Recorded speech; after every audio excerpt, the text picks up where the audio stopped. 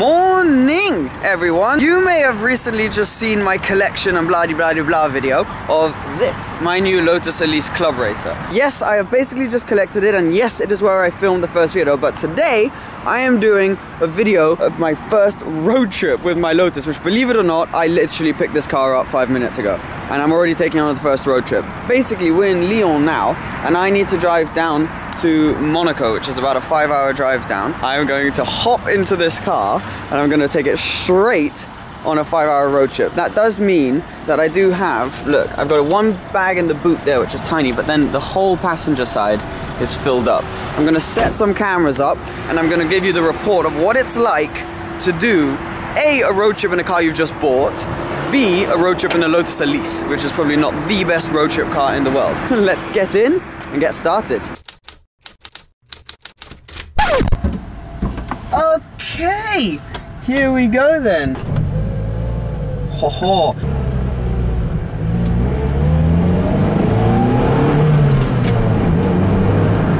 Watch out. Wow! Join me on the road then, in the Lotus, and my back is not yet hurting. So when I told Sam, seen through glass, I was going to be doing this trip down in the Lotus, he said, first thing you need to do is buy a cushion.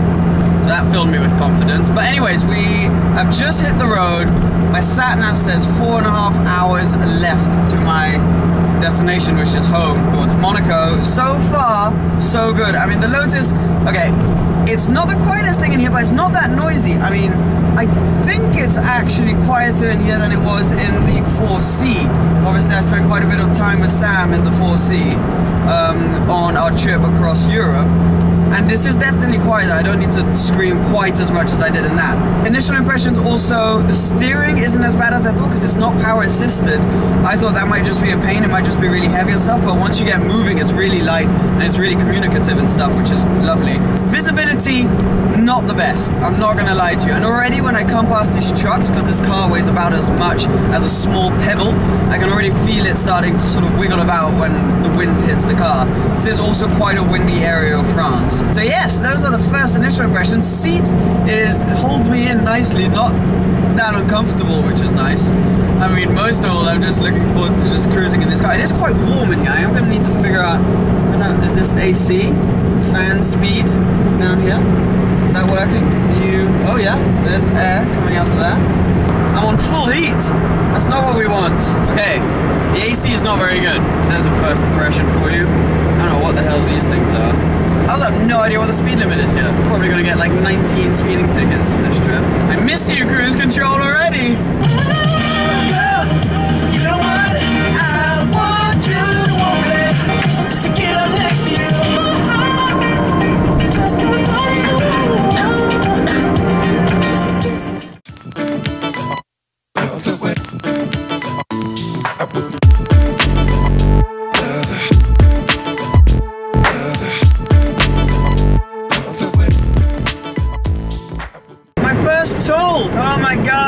switch this down so you can actually hear what I'm saying. I don't know which toll thing I go in. And am I gonna be able to reach? Because I'm so bloody low down. Ah! How does this work? Oh my god. I can't reach. Okay, we've discovered a new issue with this car, people. Mm. Mm.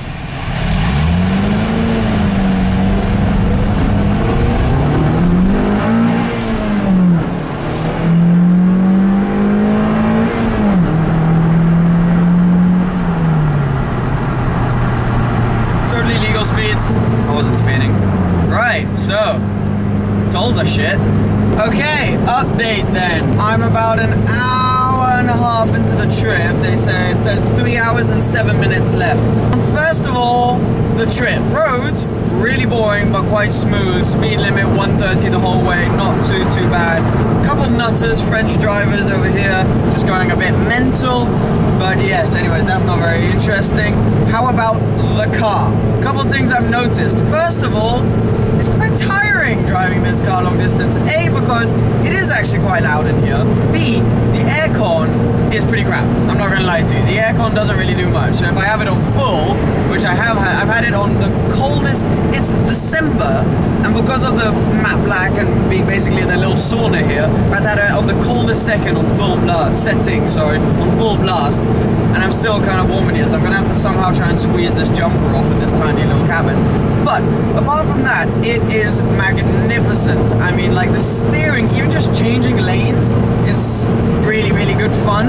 Vision out isn't as bad as I initially thought. Like the vision backwards is okay. Blind spot is decently big, but not as bad as I first feared. Um, but the vision out of the front is just gorgeous.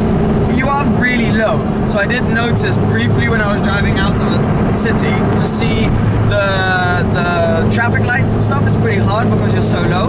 Um, other things you do here, I don't know if you just heard that, a couple of little stones and everything come back, which makes me think of like the LT and the P1 because that's what you feel in there. So yeah, that's good. Seats, I am starting to feel like they are a bit hard. Um, they're not too bad though. Like my bum is decently comfortable and my back, there's not much pad padding. I'm not gonna lie to you, it is quite hard, but it's not as bad as you may think. Here, as you can see, it's quite comfortable to put my arm up here, but then also I can rest my arm down here against like what I assume is like the chassis of the car. This is what you step over to get in which just kind of funky because you're really like probably in the car. Um, so yeah, so far it's just really, really, really exciting. I've been experimenting with Bluetooth and all of that. Sound system is pretty decent. Uh, I can put my phone through it and stuff. I've got voice control, voice command, which only this one has apparently. It was fitted aftermarket.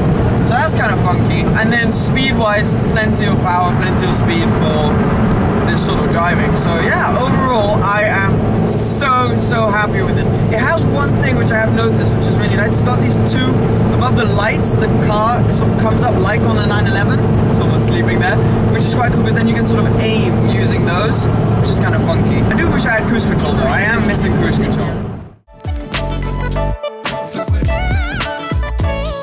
Here's the situation. Effectively, I am now two hours away. However, the fuel gauge, it's not a gauge, it's like an electric little thingy that gives me, so, you know, like I get like six bars, let's say. I've got one and a half left.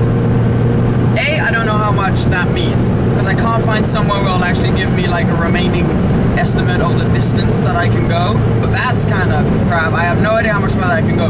B, I just missed the last service station and I have no idea how far the next one is. So hopefully I'm not going to run out of fuel. I've now managed to connect my phone to the Bluetooth, which is good.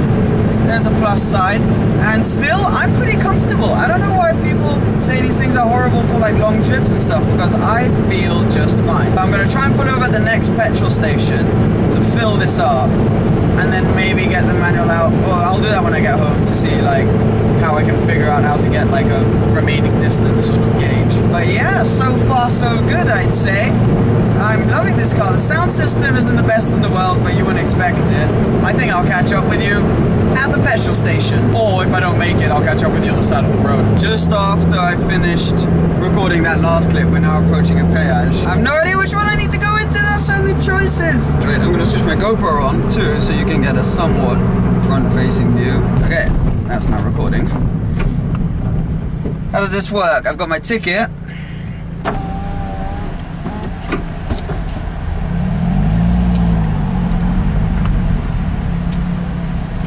Probably not going to be able to reach this.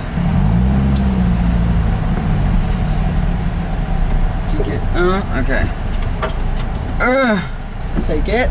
24 euros. 24 euros. Made it, people.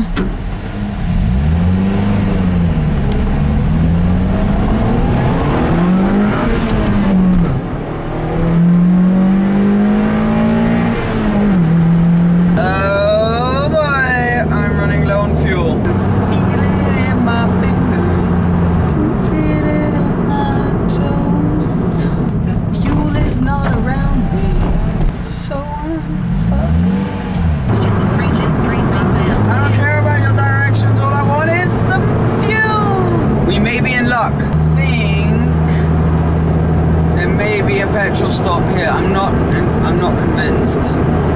There's petrol, people. It'd be quite nice to get a break, actually. Okay, I've taken the camera by hand. Ugh, it's a mission to get out of this car. They have what I need, they do have what I need. But it's soaking wet here. Okay, how does this work?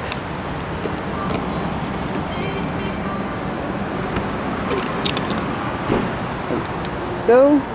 There we go, figured it out. Now then, how much will this take? Camera angle slightly adjusted, ready to go. It says an hour and 35 minutes.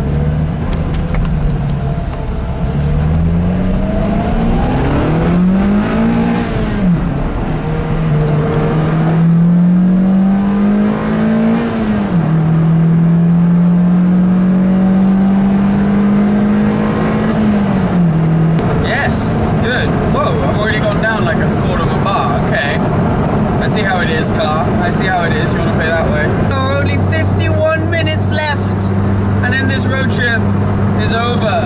And I can actually speak to other humans. Woo! It's getting dark, so I figured I would do a little update before it gets completely dark. Because I'm not sure how you're going to be able to see me in the dark, to be honest. Because my camera doesn't have a light on it. And this car doesn't have any lights. So, yeah, that, that might be a bit tricky. Overall, I'm not going to repeat myself from what I said earlier. I am still perfectly comfortable, he says as he readjusts his back. One thing I have noticed though, which I also noticed in Sam's 4C, was that you're so low down to the ground in this car that you're directly opposite the sort of the headlights of the other cars. So you often get blinded by cars coming the other way because you're right at the height of their headlights. So that's one inconvenience to being this low. They really are. They're, this is lower than most sports cars, I would say. But apart from that, still driving beautifully. I'm not feeling that tired. Um, I could go for another couple hours happily. I do, however, want to get home before it's completely pitch black because that would just be nicer. Yeah, I remember to put my lights on because they're not automatic lights. If you thought there were would be automatic lights, you were wrong. Far, this road trip has gone very, very well, and there is no better way for me to break in this car. I'm already in love. Maybe we should find a name for this car, should we? Comment below if you think I should name this car the way I named the Porsche Selena in, uh, in America. But no, I'm already in love with this car. It's, it's exactly what I was hoping it would be, what I was sort of expecting it to be. Because this isn't really going to be my everyday driver because I have, there's the C-Class, there's the And all of that.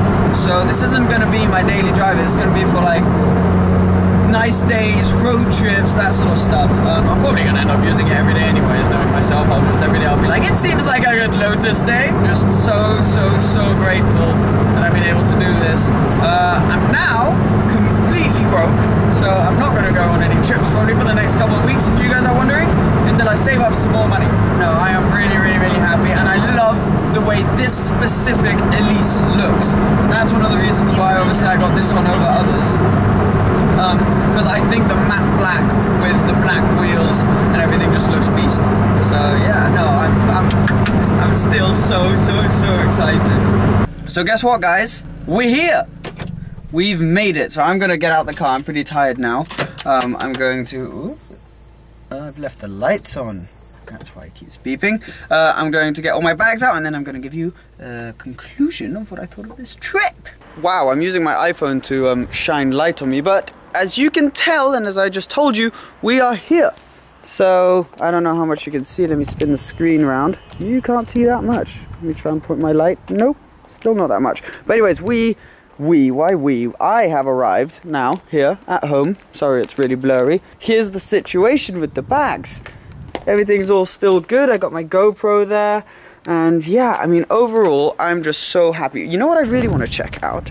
I really want to see how the bag that was in the um, engine bay is doing. So if I pop the hood, I'm not sure how much you will be able to see this. There is a bag in there. Anyways, I'm gonna end the video here. I'm gonna unpack the car and go and sleep because that was a long drive and I'm feeling pretty exhausted. Uh, have a quick bite to eat as it's only about six o'clock or something and then I'm gonna go straight to bed because I didn't sleep much last night uh, due to excitement of picking this car up and then I did this long drive. So yeah that's pretty much it but this car I am so happy with it. I hope you guys like it. I hope you enjoyed the drive. I'll be doing an in-depth tour and plenty of other videos of this car in the next couple of days. And yeah thank you as always. Please remember to subscribe if you want to see plenty more adventures like this and I'll be back with another video soon. Thank you so much Ta-da! This is the car, people. This is the little beast that is my Lotus Elise. Club Racer.